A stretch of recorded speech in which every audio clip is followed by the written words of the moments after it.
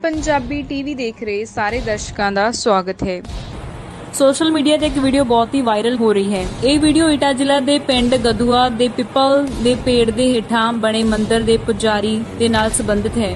ਮੰਦਿਰ ਦਾ ਪੁਜਾਰੀ ਬਾਬਾ ਕੰਟਰੋਲ ਫੌਜੀ ਸੋਮਵਾਰ ਕਰੀਬ 4:30 ਵਜੇ ਸਵੇਰੇ ਪੂਜਾ ਕਰ ਰਿਹਾ ਸੀ। ਤਦੋਂ ਹੀ ਉੱਥੇ ਅਚਾਨਕ ਇੱਕ ਔਰਤ ਪ੍ਰਗਟ ਹੋਈ। ਔਰਤ ਨੂੰ ਦੇਖ ਕੇ ਪੁਜਾਰੀ ਡਰ ਗਿਆ। ਪੁਜਾਰੀ ਨੂੰ ਡਰਿਆ ਹੋਇਆ ਦੇਖ ਕੇ ਔਰਤ ਤਿੰਨ ਕਦਮ ਪਿੱਛੇ ਹਟ ਗਈ ਅਤੇ ਲక్ష్ਮੀ ਦਾ ਰੂਪ ਲੈ ਕੇ ਪੁਜਾਰੀ ਨੂੰ ਬੋਲੀ ਕਿ ਇਸ ਧਰਤੀ ਤੇ ਪਾਪ ਬਹੁਤ ਵੱਧ ਗਿਆ ਹੈ ਤੇ ਮੈਂ ਪਾਪ ਖਤਮ ਕਰਨ ਅਤੇ ਪਾਪੀਆਂ ਦਾ ਨਾਸ਼ ਕਰਨ ਲਈ ਪ੍ਰithvi ਤੇ ਜਨਮ ਲਵਾਂਗੀ ਅਤੇ ਜੋ ਵੀ ਇਹ ਖਬਰ 21 ਲੋਕਾਂ ਨੂੰ ਭੇਜੇਗਾ, ਉਸ ਦੀ 7 ਦਿਨ ਚ ਮਨੋਕਾਮਨਾ ਪੂਰੀ ਹੋ ਜਾਊਗੀ ਅਤੇ ਜੋ ਅਣਦੇਖਿਆ ਕਰੇਗਾ, ਉਸ ਨੂੰ ਸਫਲਤਾ ਨਹੀਂ ਮਿਲੇਗੀ। ਤਦੋਂ ਹੀ ਬੌਬੀ ਯਾਦਵ ਨੇ ਖਬਰ ਸੁਣਦੇ ਸਾਰੀ ਮੈਸੇਜ 21 ਲੋਕਾਂ ਨੂੰ ਭੇਜਿਆ ਤਾਂ ਉਸ ਦੀ ਠੇਕੇਦਾਰੀ 'ਚ 2 ਲੱਖ ਰੁਪਏ ਦਾ ਮੁਨਾਫਾ ਹੋਇਆ। ਅਤੇ ਇੱਕ ਜੀਸੀਬੀ ਡਰਾਈਵਰ ਨੇ ਇਸ ਮੈਸੇਜ ਨੂੰ ਸੱਤ ਲੋਕਾਂ ਨੂੰ ਭੇਜਿਆ, ਉਹਨੂੰ ਸੋਨੇ ਦਾ ਕਲ ਭਰਿਆ ਹੋਇਆ ਕਲਸ਼ ਮਿਲਿਆ। ਗ੍ਰਾਮ ਬਹਾਦੁਰਗੜ੍ਹ ਦੇ ਕੈਲਾਸ਼ ਠੇਕੇਦਾਰ ਨੇ ਮੈਸੇਜ 100 ਲੋਕਾਂ ਨੂੰ ਭੇਜਿਆ।